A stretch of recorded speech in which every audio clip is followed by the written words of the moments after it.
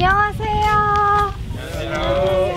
안녕하세요. 소혜 역할을 맡은 배우 한소희라고 합니다. 이렇게 백일의 난구님에서 세자빈 마마를 맡아서 역할을 하게 되었는데요. 저를 비롯해서 많은 선배님들 그리고 아역 배우분들, 스태프분들 다들 열심히 촬영하고 있으니까요. 재밌게 봐주시고 그리고 기대 많이 해주시고 백일의 난구님 화이팅입니다.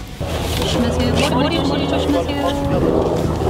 이렇게 했다가 발 내리면 머리 숙이고. 네, 제 손을 이렇게 잡고 음, 나오고. 어, 조금 더 앞으로 나와야 돼. 그렇지. 나왔으면 떨려 어색하고 떨려. 나 이 사극이 처음이어가지고. 백인의 난구님 정재훈 역할의 김선호입니다. 반갑습니다.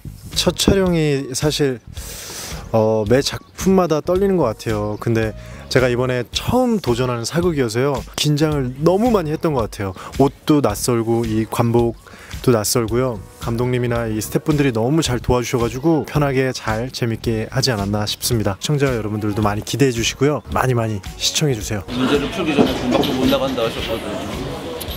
하고 본다. 다행히 긴장도 많이 안 하고 스태프분들하고도 더 밝게 인사를 많이 나눌 수 있어서 긴장 없이 편하게 잘 찍을 수 있었어요. 재밌었습니다. 저희 백일의 난구님 열심히 촬영하고 있으니까요. 기대 많이 많이 해주시고요. 즐겁게 봐주셨으면 좋겠습니다. 백일의 난구님 화이팅! 분석 표출부터 해가지고 부들부들 있어. 쉬어버릴 거야. 네 안녕하세요. 백일의 난구님에서 율 그리고 원등 역할을 맡은 도경수입니다. 반갑습니다.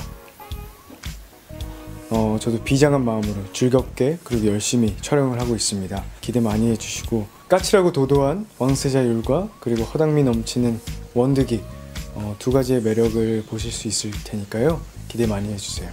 9월 10일 월요일 백일의 난구님 첫 방송을 시작합니다. 어, 많은 기대와 사랑 부탁드리겠습니다. 감사합니다